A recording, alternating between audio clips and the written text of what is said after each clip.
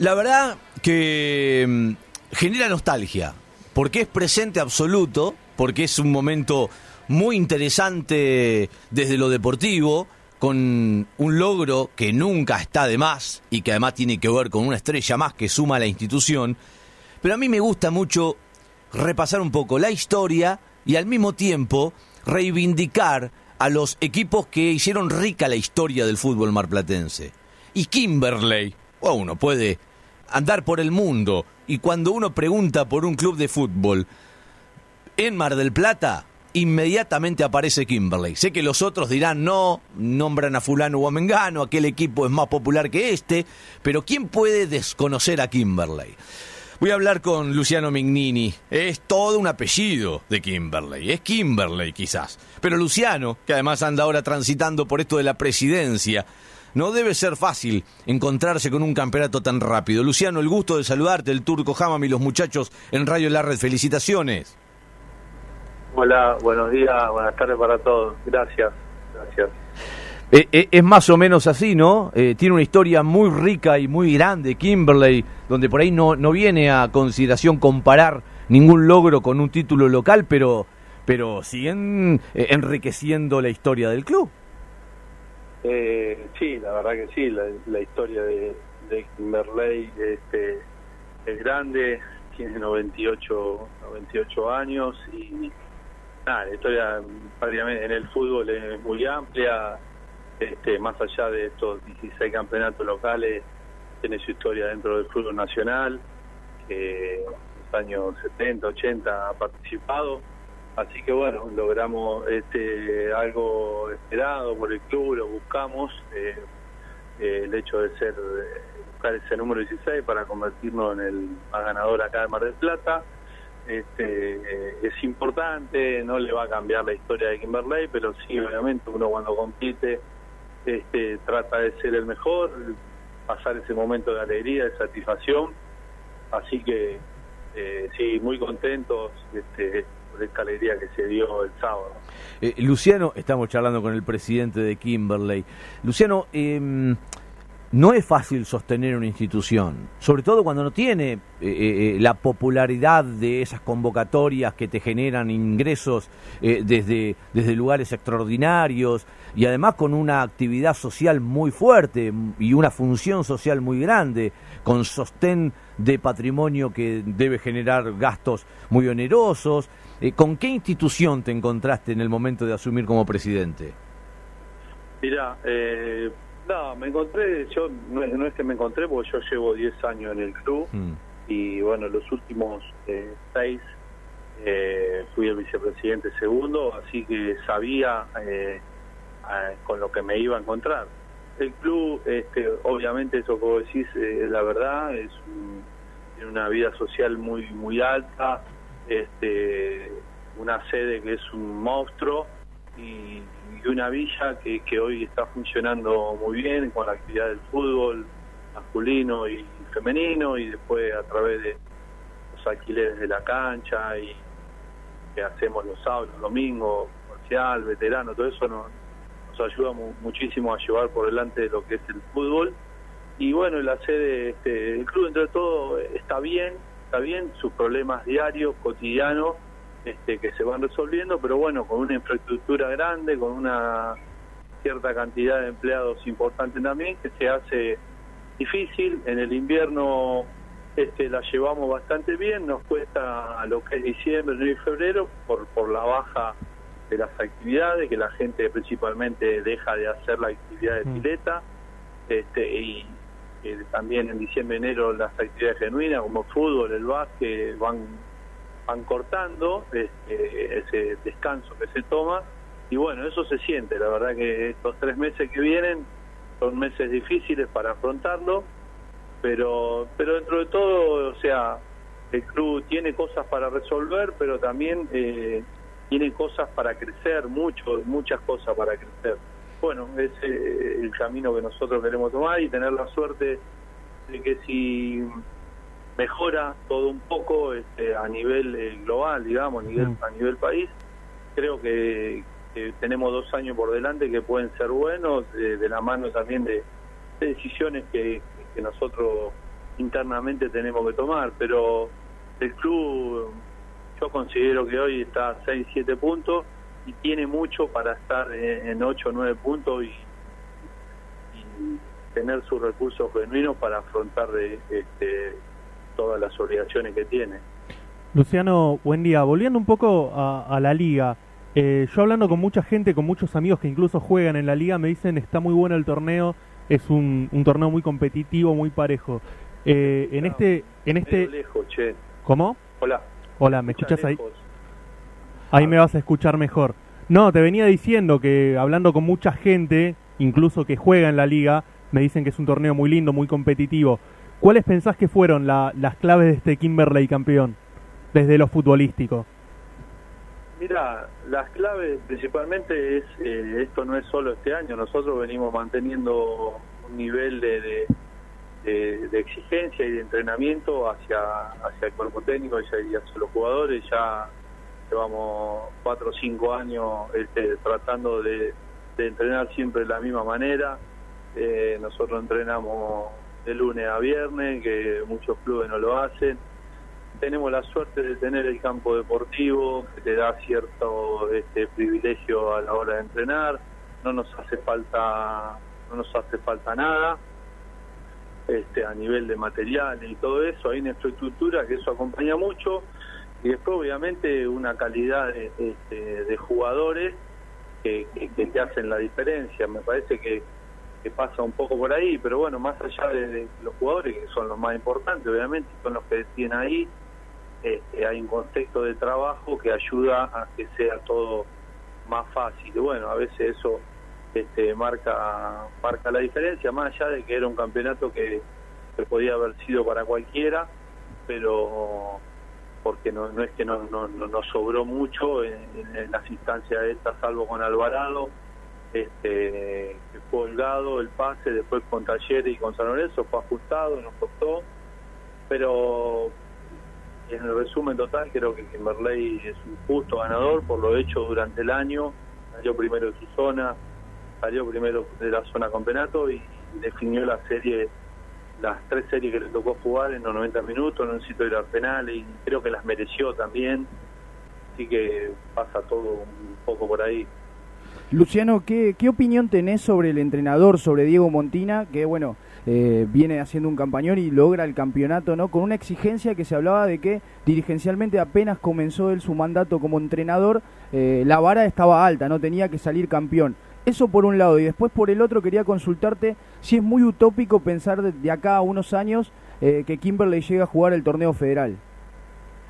Mira, lo de Diego, este, eso es así.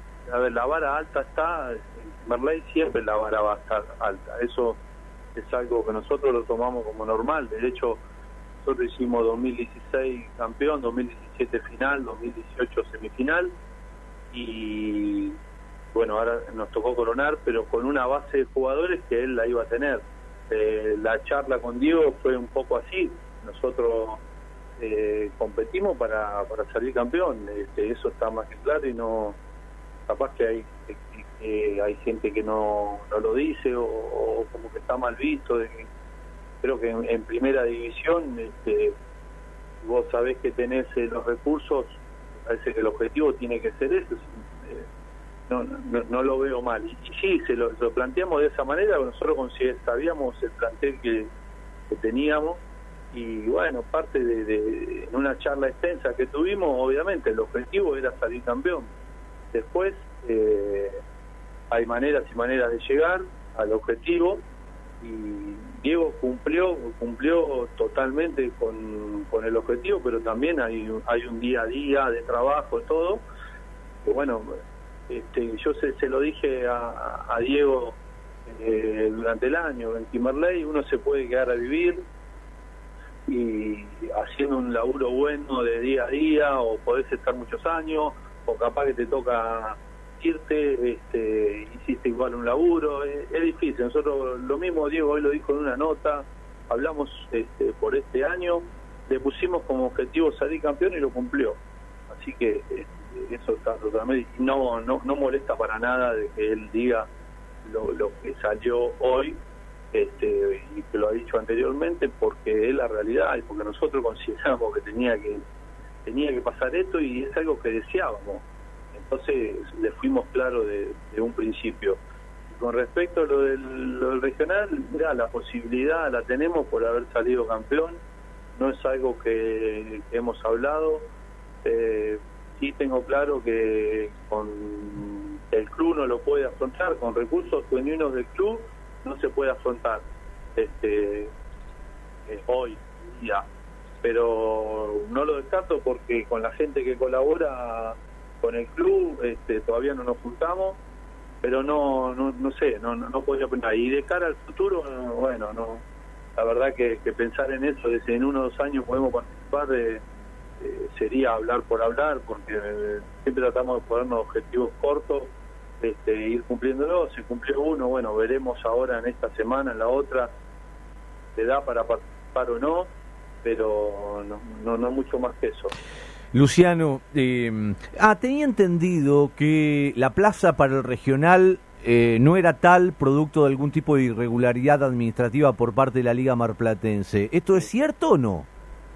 En un momento sí, corrimos el riesgo, la Liga ya en marzo, mayo, eh, mayo había avisado que bueno que el Consejo Federal le estaba pidiendo las homologaciones de los torneos para mm. poder participar del regional este amateur. Eh, bueno, en un principio faltaban 6, 7 clubes, eh, la documentación necesaria para poder homologar, pero bueno, después eh, creo que por una cuestión de, Roberto Fernández, este, la liga pudo homologar el el torneo, así que si en caso de que Kimberley o San Lorenzo, que son los que, como la liga tiene dos plazas, San Lorenzo también tiene el derecho, este, eh, pueden participar, no habría problema en ese caso, más allá de, que no, la verdad no estoy muy al, sé que está homologado, no estoy muy al tanto, sé que Roberto hizo una gestión y no sé si creo que los clubes se han puesto al día o no sé, pero sé que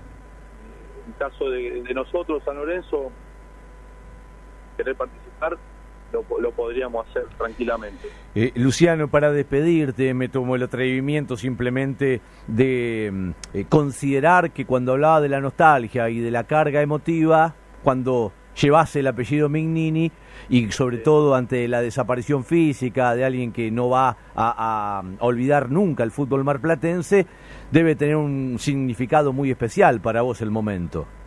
Ah, obviamente, viste. Eh, estamos en una fecha cercana cumplir el año. Mi viejo falleció el 2 de diciembre.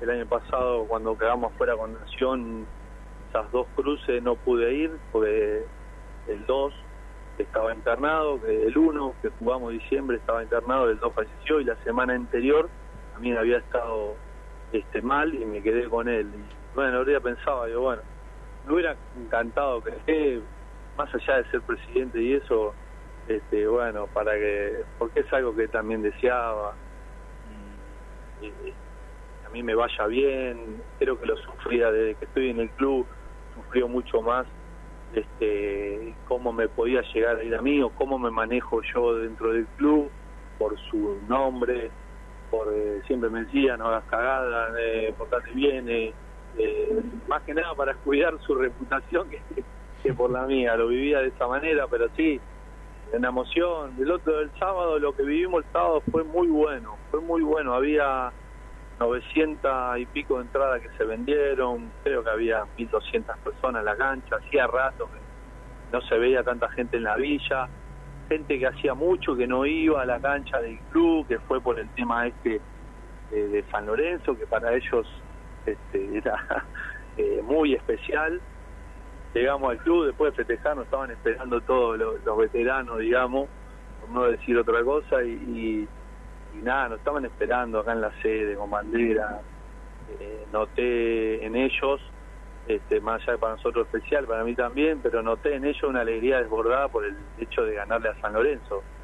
Los jugadores nuestros, viste, no, toman un clásico como con San Lorenzo, bueno, pero siempre hablamos de cuando tocó San Lorenzo de el grupo interno de los jugadores, el cuerpo técnico y, nosotros los dirigentes estamos cercanos de que le demos una alegría a los viejos del club y bueno, se la pudimos dar. Para ellos fue doble el festejo. sí, fue muy emocionante. Creo que estuvo muy bueno. Se vivieron cosas muy buenas el sábado. Luciano. así, la verdad, eh, en Mar del Plata, que van 50 personas, 80 personas, ver mil personas, la verdad, eh, por más que sea en la final, estuvo estuvo muy bueno y lo importante es que salió todo bien, no hubo un incidente, San Lorenzo, comportamiento de la gente, los jugadores, salió todo bien, por suerte. Bueno, nos alegra muchísimo y nos gusta que tenga trascendencia y que el fútbol de Mar del Plata eh, pueda quizás no compararse con otros tiempos, pero está claro que para cualquier persona que anda por la ciudad y escucha el nombre Kimberley y que justo hoy agarró el diario, un turista que vino el fin de semana y se enteró que Kimberley fue campeón otra vez del fútbol de Mar del Plata, le debe generar también una sensación de nostalgia y de recuerdo constante de un club de los más históricos que tiene ya no Mar del Plata, el fútbol de los viejos regionales y el fútbol argentino. Felicitaciones, Luciano, un abrazo grande. No, gracias a, eh, gracias a ustedes por, por la oportunidad a uno de, expresar los sentimientos y por siempre estar, eh, bueno, recordando a Kimberley y, siempre recordando que metan a mi viejo en el medio también me llena de orgullo, siga, sigue hablando bien de, él, que es lo que mejor nos dejó eh, eso, que todo no hay nadie que no te diga algo bueno de él, así que nada, agradecerle nuevamente por, por la nota. Un abrazo grande.